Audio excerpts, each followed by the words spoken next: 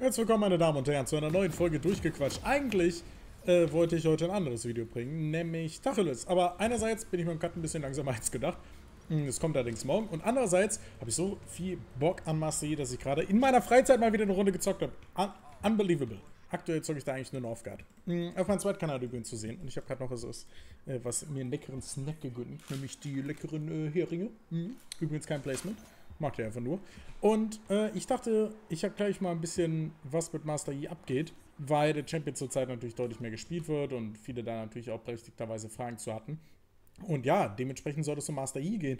Äh, wenn es um Master Yi geht, dann geht es auch um Kausep. Der Junge ist tatsächlich so ziemlich der beste Master Yi-Spieler, den man sich aktuell vorstellen kann. Zumindest so von dem, äh, was man äh, mitbekommt. Dementsprechend ist natürlich auch viel von dem, was ich hier mache, auch irgendwo auf seinen Mist äh, gewachsen. Und äh, verständlicherweise werde ich mich da auch ein bisschen drauf beziehen, weil wenn Leute Ahnung haben, ist es einfach schön. Ich hatte im Stream viele Diskussionen rund um Rageblade. Ähm, Cursor ist ein Riesenverfechter von, von Rageblade und vielleicht lag ich falsch. Meine Argumentation war, dass andere Items dir mehr bringen und dass das Item erst aufbauen muss. Trotzdem ist es so, dass gerade durch den E von Master Yi und die anderen Items, nämlich zum Beispiel Blood Razor, die man dazu holt, ist einfach insane ist. Also wirklich insane. Das ist aus meiner Sicht ähm, einfach ja, nicht von der Hand zu weisen. Holy shit, Alter, der, der Ingame-Sound haut mir aber gerade mal die Ohren raus.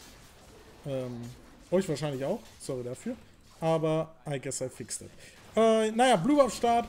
Damit macht ihr euch keine Freunde, aber ihr seid auch nicht da, um euch Freunde zu machen, denn ihr spielt Master Yi. Und Master Yi ist prinzipiell ein Champion, mit dem ihr euch nicht so viele Freunde macht, zumindest nicht ähm, in eurem eigenen Team. Normalerweise könnt ihr hier die kleinen Golems-Wölfe äh, auch einfach stehen lassen, weil ihr die mit dem zweiten Alpha-Strike killt. Wenn ihr mehr healthy sein wollt, dann solltet ihr sie killen, weil die machen relativ gut Damage.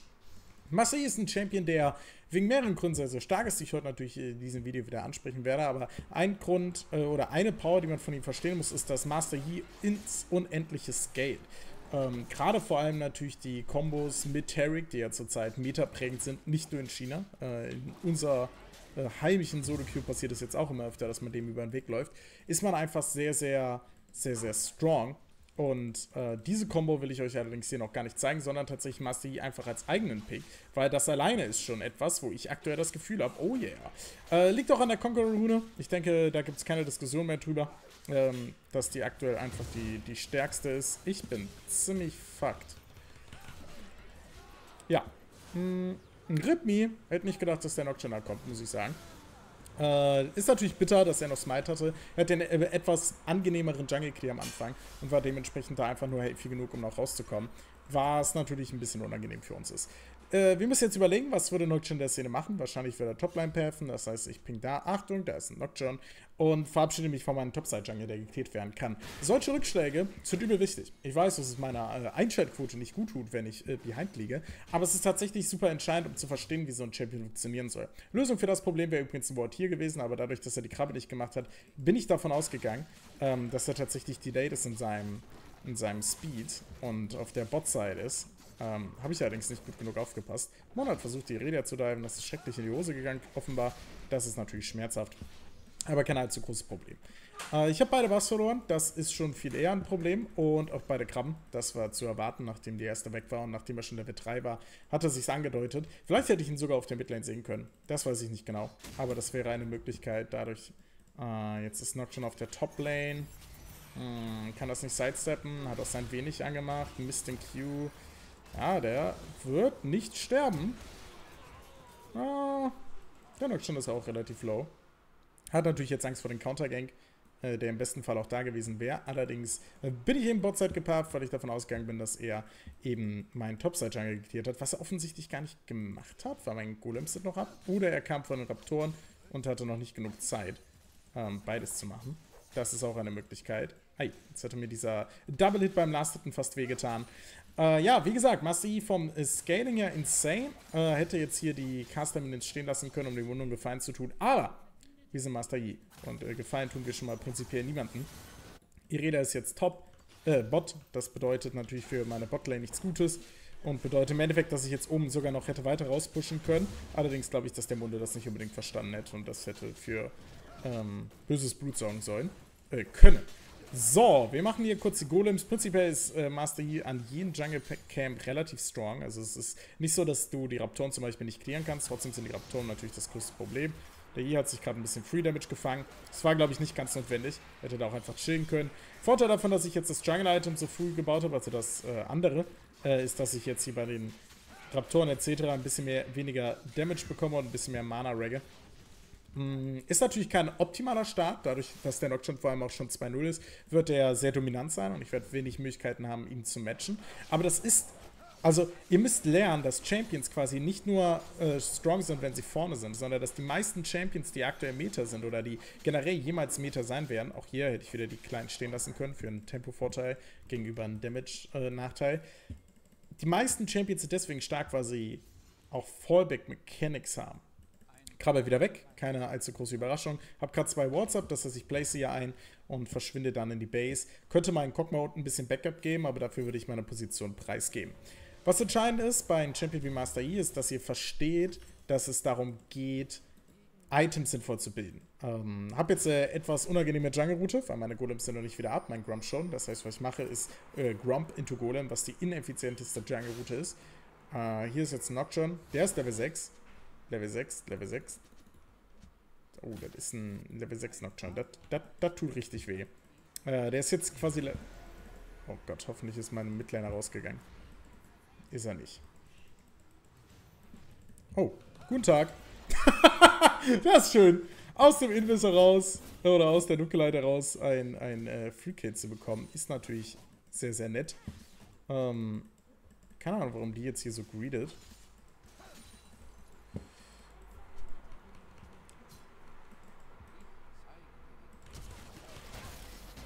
Oh.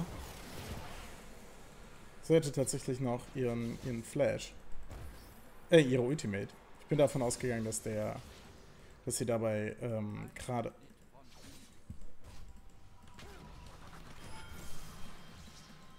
Ja, RIP. Interessant, muss ich sagen. Ich würde das interessant nennen. Habe ich hier für die Rune entschieden, die mir Movement Speed gibt, wenn ich meine, okay, das ist eine interessante Zeit. Die, Rune gibt mir einen sehr interessanten Bonus. Äh, zumindest wird der Bonus sehr interessant angezeigt. Eigentlich ist es halt eben Movement Speed Buff, wenn ihr die Ultimate einsetzt. Äh, Kausap und Co. gehen immer noch Domination Second. Ich hatte das für einen Fehler. Ich glaube, die Rune ist underrated. Ähm, Sorcery, also Sorcery mit dieser und mit der, dass sie für Movement Speed Damage bekommt, ist aus meiner Sicht stärker, als es der Heal aus dem Domination Tree sein kann. Ich glaube, einer der Gründe, warum Kausab immer noch für Domination, äh, immer noch dafür geht, ist, dass er vorher den Domination Tree halt eben komplett gespielt hat und deswegen die Rune sehr stark findet. Aber wie gesagt, ich glaube, diese Rune ist stärker. Und schwuppdiwupp seid ihr mit Master Yi wieder zurück im Game. Äh, das passiert, wie gesagt, öfter. Also mal behind zu sein, ist kein, ist kein Beinbruch. Das ist einfach etwas, was in League of Legends immer wieder passiert. Mein kompletter Topside-Jungle ist jetzt ab und meine Wölfe sind ab. Das bedeutet, ich könnte jetzt eine perfekte Jungle-Route mit Golems into Red, into Raid, äh, Raptoren, into Wölfe nehmen. Stattdessen habe ich allerdings eine Top-Lane zu halten, weil der Teleport ist noch 30 Sekunden. Aber als Marcy beschwert ihr euch nie darüber, mehr Farm zu haben. Dementsprechend, äh, vielen Dank, lieber Mundo, dass du äh, geintet hast. Ähm, es ist mir eine absolute Ehre und kann dementsprechend den Farm einheimsen. Hab jetzt den höchsten Farm aktuell im Spiel. Das ist wie gesagt etwas, was ich auch schon, ähm, das habe ich auch schon in anderen durchgequatscht Videos gesagt, dass ich glaube, dass die Jungle-Route, äh, Jungle-Rolle generell ein bisschen zu viel Gold hat und dass sie prinzipiell auch eine Rolle ist, die gerade im Low Elo in der Lage ist, mehr XP und mehr Farm als alle anderen Rollen zu haben. Äh, I. Ah, ärgerlich. Mein Topstar Jungle wurde geklärt. Das ist halt genauso ein Preis, den man dafür zahlen kann, dass man eben sich auf einer Position zeigt. Mein Red Buff war jetzt sehr, sehr lange ab. Und ich habe halt diesen Midlane Kill geforst und habe Toplane die Wave gehalten. Das gibt denen schon sehr, sehr viele Möglichkeiten, mich zu counter-jungeln. Jetzt äh, sterben die Wölfe einfach, bevor mein Q wieder ab ist, weil ich zu viel Damage habe. Ähm, first World Problem, I guess. Versuche jetzt hier Vision zu denyen und äh, ich denke, dass es Midlane ist.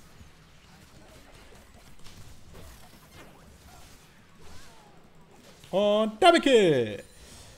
Ah, das ist das Schöne, wenn du in so einem Moment in der Nähe bist, kannst du halt ultimativ viel Schaden anrichten. Na, thanks. Äh, richtiger Call von ihm ein Stück weit, dass er sagt, hey, da ist ein Turret, den du Damage machen kannst. Aber ich habe in dem Szenario jetzt eher ein Interesse daran, den Topside-Jungle von ihm zu clearen. Dummerweise ist der schon gecleared. Das heißt, ich habe jetzt Time gewastet. Ähm, fährt jetzt die Redia. Die hat Ruf des Henkers. Ist natürlich für den Mundo jetzt nicht so schön. Das pinkt er auch. Gleich ist mein Grump wieder ab, wenn ich es richtig getimed habe. Bin mir aber gerade nicht ganz sicher. Vielleicht habe ich auch gedurbt. Könnt ihr jetzt überlegen, was für Boots ich gehe. Hier sind Ninja Tubbies auf jeden Fall die, die besten Boots, die man haben kann. Ich könnte jetzt allerdings Ragebait schon zu einem interessanten Gegenstand für mich machen, dadurch, dass ich einfach in diesem Fall schon den Attack Speed bauen kann. Mundo muss einfach nur chillen. Es, es ist natürlich auch nicht so einfach für einen Mundo, gebe ich zu. Diese, diese Spieler sind meistens sehr, sehr geil darauf, frühzeitig etwas unternehmen zu können. Jetzt ist hier ein Wort geplaced worden. Ich habe gerade überlegt, ob er hier auch noch ein Wort geplaced hat, aber es sah nicht danach aus. Äh, Nocturne wieder Mitte. Oh. Er geht für das All-In.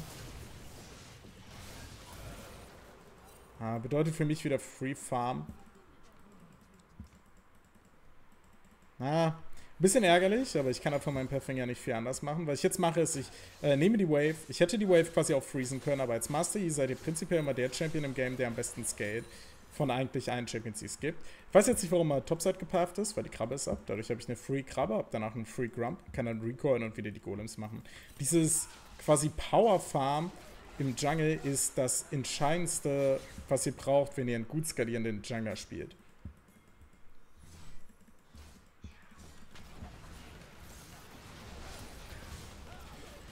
Oh mein Gott, ich hab's verkackt. Oh mein Gott, ich hab's so verkackt. Eieiei. Äh, ihr könnt den, äh, ihr könnt den 4 von einem Nocturne komplett blocken und die 9, indem ihr kurz bevor der 4 eintritt den Q macht. Und dem, ja, wobei ich glaube, ihr kommt da noch leicht geführt raus, aber es sollte eigentlich kein Problem sein. Wenn ich hier die Ninja Service gehabt hätte, wäre es natürlich schon besser gewesen. Generell sich mit Warrior-Leuten zu messen, ist nie so eine gute Idee. Und ich verliere jetzt viel Uptime von meinem Jungle. Das ist generell etwas, an das ihr euch ähm, was ein bisschen Umgewöhnung bedeutet, wenn ihr normale Jungler gewohnt seid, aber es ist meistens Worth mit Master Yi nicht für einen Kill zu gehen, selbst wenn ihr euch ziemlich sicher seid, dass es ein Kill ist. In dem Szenario ist es jetzt sogar Worst Case. Ich verliere meinen Botlane Tier 1 Turret, ich verliere meine Botlane komplett und ich habe in der Zeit Jungle Farm ab, der normalerweise down sein muss. Also dieser Botlane Farm, äh, dieser Botlane Jungle muss normalerweise von mir geklärt sein. Dass es jetzt nicht ist, ist ein Riesenproblem. Also natürlich jetzt nicht das größte Problem, aber Offensichtlich verlieren wir jetzt auch noch Drake dafür. Hm. Bin mir nicht sicher, ob wir da was machen können. Ich meine, der knockt schon halt keiner Ult.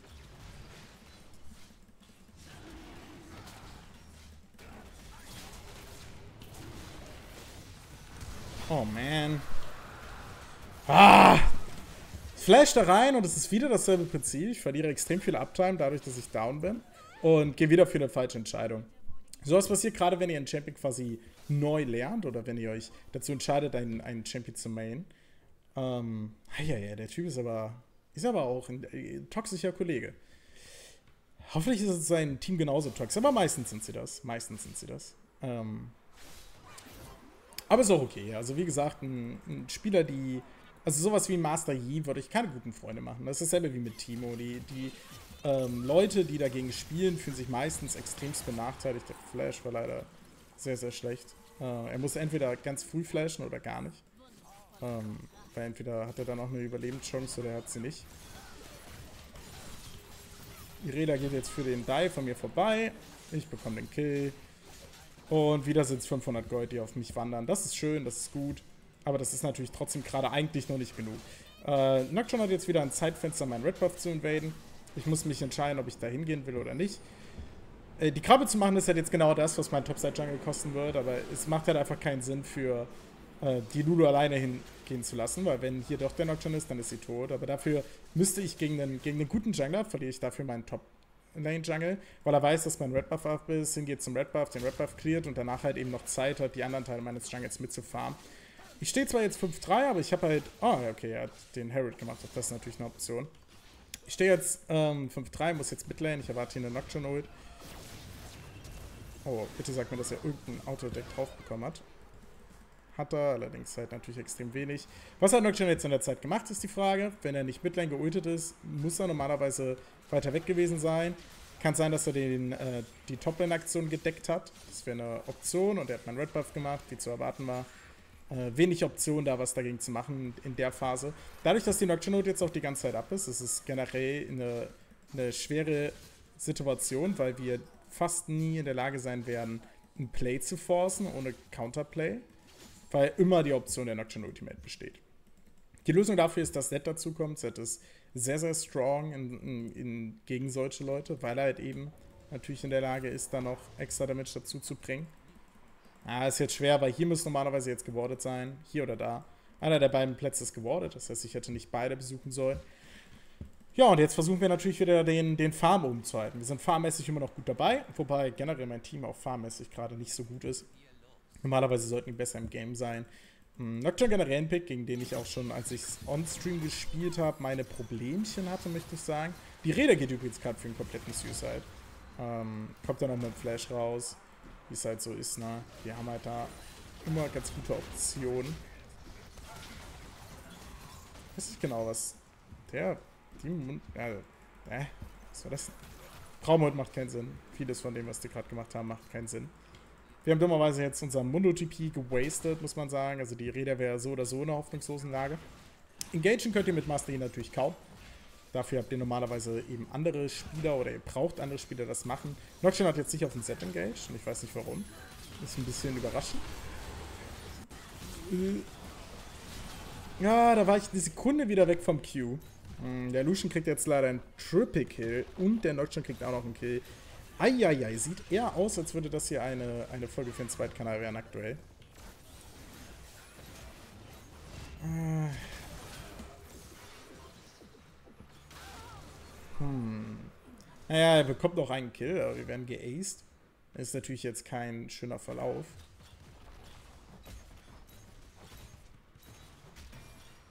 Ja. Eieiei. Okay, die, die Lulu. Ja gut, ich weiß noch nicht, was ich von der Lulu jetzt gerade halten soll. Upsi, äh, ich habe meinen Rage Red finishen sollen. Geht dafür sogar kurz weg, weil die Einzelteile sind halt tatsächlich relativ weak, aber das vollständige Rage ist sehr stark.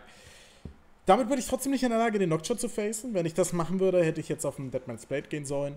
Dadurch bin ich dann in der Lage, den Damage seiner, seines Traktars zu negieren und gewinne das Duell durch Tanking. Das ist generell etwas, was mir immer wieder auffällt, was in meinem Twitch-Chat oft äh, missverstanden wird. Es geht, wenn ihr darüber nachdenkt, einen Champion in 1 gegen 1 zu, zu killen, geht es ganz oft nicht darum, wie viel Damage ihr habt. Ei. Okay. Ähm. Ups. Ich hätte die einfach killen können. Hätte ich einfach weiter attackt hätte, ich die gekillt. Uh, what the actual fuck is happening? Äh, wir müssen unbedingt unsere Midlane öffnen. Da kommt ein Traktar und äh, meine Leute sind noch nicht so davon begeistert, dahin zu gehen. Stattdessen wird jetzt eine Ari gefightet. Jetzt gibt es eine Nocturne Ult, die allerdings scheinbar nicht auf... Oh, doch, sie ist aufgetroffen. Auf einen Kokma. Äh, Rip Kokma. Midlane verlieren wir währenddessen alles. Pretty sure, dass es nicht worth ist, was hier gerade passiert.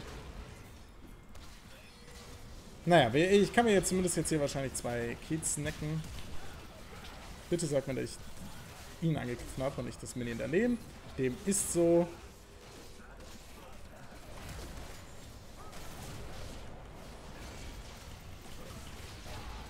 Na gut, ich bekomme noch den Kill, sterbe dafür. Wurde ignited, das heißt, beim wieder gegen zu ein ist auf Dauer nicht möglich. Eieiei, das Gegnerteam ist aber auch komplett in BM-Stimmung, ne? Also da wird schon äh, gut, gut durchgeprügelt. Na gut, wir bekommen auch da nochmal den Kill. Midlane in den Daumen zu haben, ist kein Grund aufzugeben. Ganz oft kommt man davon noch zurück und hat gute Möglichkeiten, sich davon noch zu erholen. Hm, hm. Was gehen wir als Itembild jetzt? Es gibt verschiedene Optionen. Lifesteal ist natürlich eine gerade sehr attraktive. Problem ist, dass das Gegnerteam auch relativ viel CC hat. Das heißt, es wird unangenehm, aber gerade wenn ihr Ragebed baut, ist übrigens Item-Bit-mäßig Blade of the King allein deswegen natürlich nochmal attraktiver als sowieso schon. Ich bin immer noch richtig gut dabei. Das Problem ist nur, dass die Gegnerseite jetzt mehrere Charaktere hat, die Oberkante, Unterkante gefeedet sind. Wenn ich gegen die Irelia fighte, muss ich, wenn ich den, wenn ich den Stun dodge, habe ich den Kill. Äh, was natürlich immer deutlich leichter gesagt als getan ist. Nocturne hat kein Upkeep auf meinem Red Buff jetzt. Das heißt, ich darf mit dem mal nehmen, dadurch, dass er halt eben nicht sofort dasteht.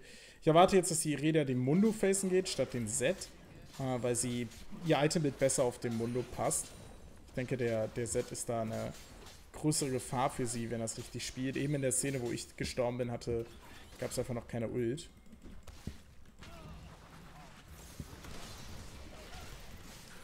Äh, ich schlitze jetzt hier kurz den Luschen auf. Oh, ich sterbe. Wow, okay, der, der Impact Damage ist schon relativ strong vom äh, Nocturne. Möchte mal meinen. Ah, der Flash. Ah, okay, ja, wir kriegen den Kill, das ist fein. Wir delayen dadurch den Nash weiter nach hinten. Muss jetzt überlegen, ob ich das Blade finishen will, wenn die Option ist, dass der Nocturne mich jedes Mal tötet. Allerdings hat der Nocturne natürlich auch andere Targets. Ne? So ein Cockma ist, wenn er ihn freistehen lässt, auf Dauer durchaus auch eine Bedrohung, die man ernst nehmen sollte. Ah, tricky gerade. Deadman's Blade ist natürlich früher oder später eine gute Option. Das heißt, wahrscheinlich gehe ich jetzt... Ich gehe jetzt einfach auf ein bisschen Armor stacken, in der Hoffnung, dass ich dadurch den Initial-Engage von Nocturne überlebe und gehe erst danach auf Blade. Auch in den Fallsbetten wieder, dass Blade oder das Rage Blade nützlich zu machen nicht so einfach ist, weil ihr nicht immer es schafft, die, die nötige Anzahl an ähm, Autotext zu machen. Ah, die Räder wird jetzt irgendwo hier sein. Ah, sie hat da gewordet. Das heißt, der Jungle ist jetzt für mich gesperrt.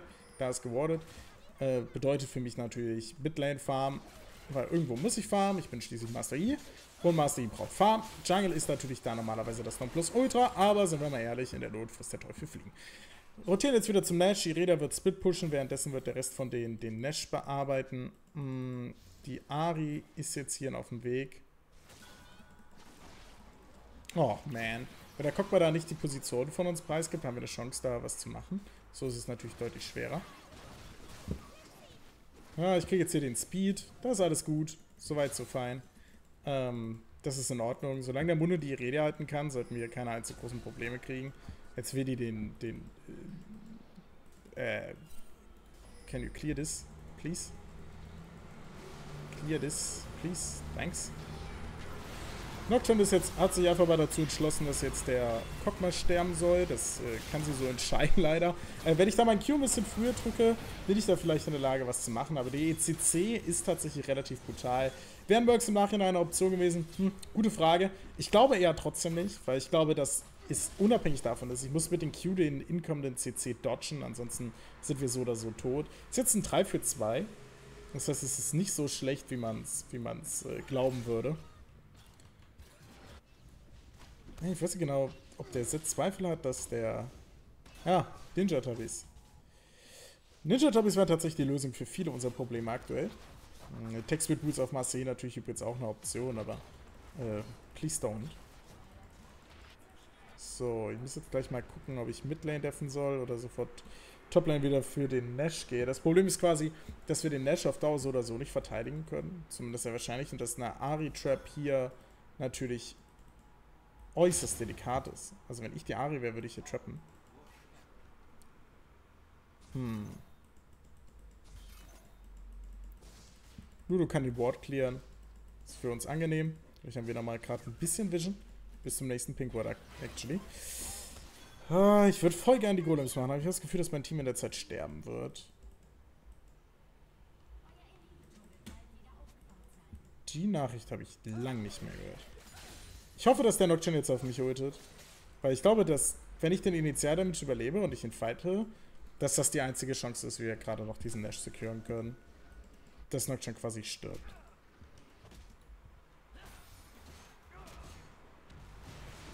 Wir fangen jetzt an.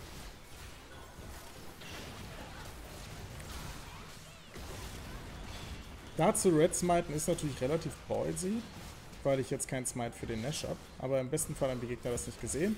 Und das haben sie scheinbar wohl auch nicht. Oh, relativ dunkel.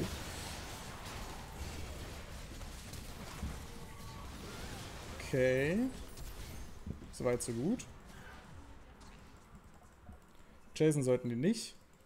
Nash machen können sie auch nicht. Bedeutet für uns natürlich gerade wieder ein bisschen Freizeit. Ah, solange der Nocturne jedes Mal stirbt, sind wir tatsächlich relativ gut dran. Die Gegner verschieben jetzt ihre Vision weiter nach vorne, bedeutet für mich ein Orakel holen, um eben die zu clearen. Es geht immer weiter rund um diesen Nash. Quasi jede, jede Aktion geht nur um Nash. Okay. Wow. Wow. Okay, das war terrible von mir. Ich musste den Stunt von Iredia halt eben äh, mit meinem Q dodgen, allerdings hat die Ultimate von ihr mich so aus der Fassung gebracht, dass ich nicht wusste, was ich machen soll. Und dadurch verlieren wir jetzt den Ash. Äh, sehr, sehr delayed. Wir haben das lange rausgezögert, aber rauszögern alleine hilft natürlich nicht. Es geht halt eben auch darum, dass du ihn irgendwann, irgendwann diesen äh, entscheidenden Befreiungsschlag kriegst. Das ist uns jetzt nicht gelungen. Dementsprechend werden die Gegner Nash forcieren können. Äh, entweder brauchen sie dafür Braum nicht oder Braum ist tatsächlich dumm. Ähm, das Problem ist, wenn der Cockball da jetzt alleine geht, stirbt er einfach. Also, der wird jetzt hier, der wird von da ulten, Dr. Null tot. LOL.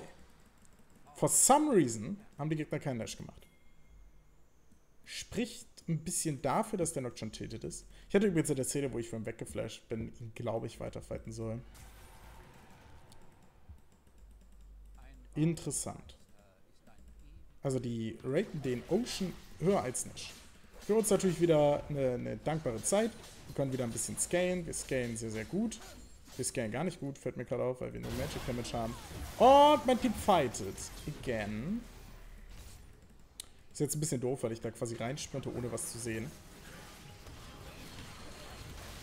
Und das erste, was ich sehe, ist ein Lucian. Ah, mh, hm, ja. Ich meine, die Redia war da schon tot. Wahrscheinlich hätte ich trotzdem einfach darauf warten sollen, sie zu finishen. Weil wenn ich sie mit dem äh, Q finische, bekomme ich jetzt 70% Cooldown Reduction zurück und habe dadurch... Oh, sie wird trotzdem gefehlt. Ah, that's unlucky. Ja, und damit war's das. Ähm, ja, das wird kein durchgequatscht, das wird ein durchgefallen. Ähm, hab's ja nicht so gut gespielt. Ich glaube, wir hätten es trotzdem gewinnen können. Weil wir, wir waren trotzdem relativ nah dran. Dadurch, dass die Gegner halt die ganze Zeit den Nash nicht gemacht haben. Aber wir waren, also eigentlich waren wir nicht nah dran, eigentlich haben die Gegner uns nah dran kommen lassen. Weil eigentlich war es halt over. Äh, vom Skating her hätten wir es wahrscheinlich trotzdem geschafft wegen Kokma. GGWP. Ein andermal geht's weiter. Haut rein, Leute.